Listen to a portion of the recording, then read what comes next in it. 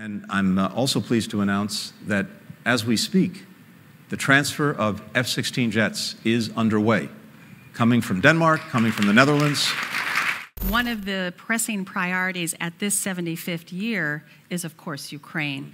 Um, last evening, we heard President Biden make some announcements uh, about a new air defense package That's for right. Ukraine. So, Mr. Secretary, I, I actually want to start with that news. I hope you can help us unpack that and tell us a little bit more about the, the Ukraine package that we can expect at the summit.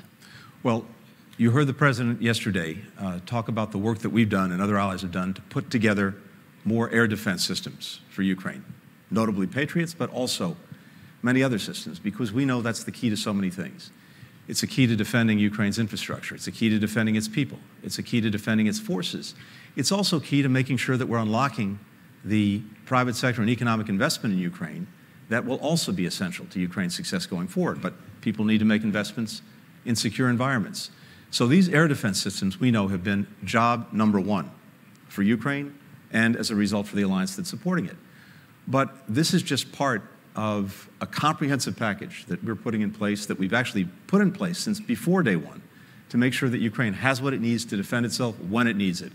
And I'm uh, also pleased to announce that as we speak, the transfer of F 16 jets is underway, coming from Denmark, coming from the Netherlands. And those jets, those jets will be flying in the skies of Ukraine this summer to make sure that Ukraine can continue to effectively defend itself against the Russian aggression. So we also understand coming out of the summit, we'll have uh, announcements that there will be a new NATO command right. in Wiesbaden that will be very focused, building on the extraordinary work of the Ramstein Defense Contact Group to sustain Mm. U- capabilities for Ukraine, operations, maintenance. We'll have a NATO uh, liaison officer. That's right. Uh, in Kiev. I mean, this is a pretty robust package that you're talking about. I want to, you said something when you last were in Kiev on, I believe, May 14th. Hmm. And you said, Our strategy is that Ukraine must win. Is that package, and this is robust, but are the packages that, that NATO is putting forward, is it enough to fulfill that vision for Ukraine to win? Yeah, I believe it is. And let's, let's talk about two things. Let's talk about what, what winning means, what success is for Ukraine. And in my estimation, at least, success is a strong, independent Ukraine, increasingly integrated with Euro-Atlantic institutions like the European Union, like NATO, and that is able to stand on its own feet, militarily, economically, democratically. And what we see is Ukraine on a trajectory to do just that, militarily. We have an incredibly robust package that will be unveiled over the next couple of days at NATO that builds a very clear, strong, robust, well lit bridge to NATO membership for Ukraine, including, as you mentioned, the first time NATO's dedicated a command to helping an aspiring country join the alliance. This, in and of itself, is extraordinary. Just a few weeks ago, President Biden signed our bilateral security agreement with Ukraine. Uh, at the last NATO summit, on, on, its margins, President Biden brought together more than 30 countries to uh, negotiate and now sign these bilateral security agreements. What does that mean? It means that for the next decade, country after country has vowed to help Ukraine build its deterrent and defense capacity. That sends the strongest possible message to Vladimir Putin that he can't out- outlast Ukraine, he can't outlast Ukraine's partners. So the military trajectory is clear. The economic trajectory is critical, making sure that private sector investment is being driven into Ukraine. Uh, our former Secretary of Commerce, Penny Pritzker, has been leading our efforts with so many other allies and partners. We just had a very strong reconstruction conference in Germany. Uh, but all of this is about making sure that investment is driven to Ukraine.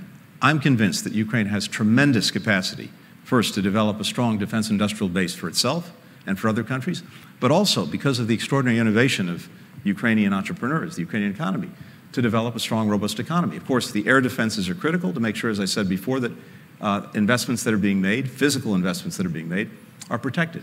And then finally, democratic uh, deepening.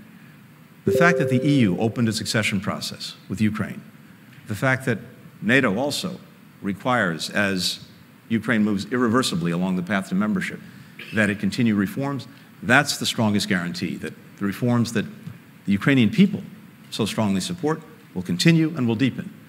And that results in a Ukraine that is strong, that is independent, uh, and that is the best possible rebuke to Vladimir Putin. Mr. Secretary, I'm so glad you talked about the well lit bridge because I think an enormous amount of energy is being expended upon verbal gymnastics in some ways the irreversible path, the well lit bridge, all of these terms. But what you've been talking about, the actions, That's, the robustness, that speaks louder than That's words. Exactly That's right. the relationship with, with NATO. But why are we so caught up? Why can't there be greater simplicity and clarity about this incredibly close relationship that Ukraine will join NATO? I, help me understand why we're using all of these very creative words. Well, we have a lot of very talented people who have to spend a lot of time writing NATO declarations. Uh, we want to make sure they're fully employed. So that's the secret. So, ah. Subscribe to One India channel and never miss an update.